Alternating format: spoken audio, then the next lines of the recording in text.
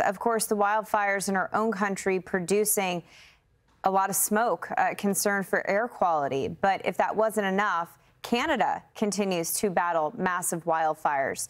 Uh, there's a look at more video from Chico. So the park fire has just exploded in size. And unfortunately, the smoke with the prevailing winds that are in place in the forecast mm -hmm. is going to continue to produce an issue when it comes to air quality. And Britta, you think about the terrain. Look at the hillsides there in oh, Chico, it's, tucked it's in tough. the northern side of the valley, right? And a lot of that terrain is going to be tough for firefighters to attack. Mm -hmm. If the mm-hmm. winds are too strong, they can't go from above. But even the crews on the ground are having a hard time climbing climbing those hills.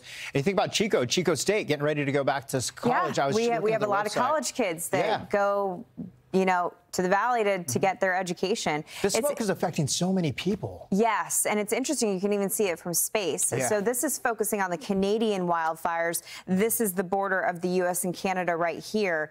And when you see sort of the flatter color of the brown and the dark gray, that is actual smoke plumes extending from the fire. Of course, you can see the flames as well.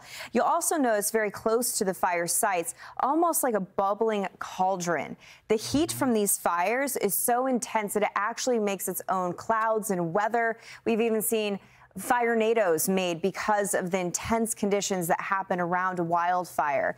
But it's the transport of the smoke that we're most concerned about because it is going to impact a lot of Americans. Uh, the Canadian smoke is moving into our country, and then we have our own issue from smoke from the fires that are burning out west. Uh, this is a look at Denver on Monday. They actually had the worst air quality in the world in Denver, Colorado.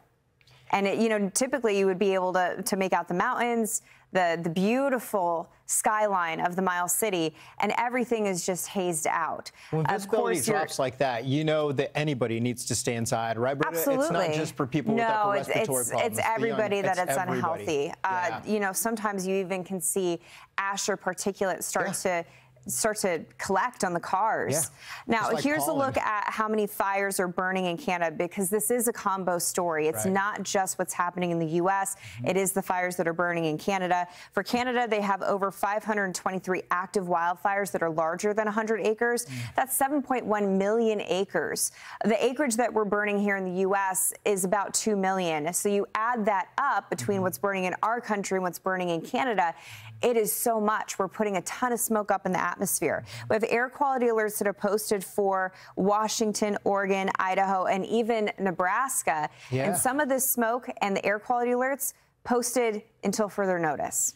Yeah, along the front range of Colorado as well.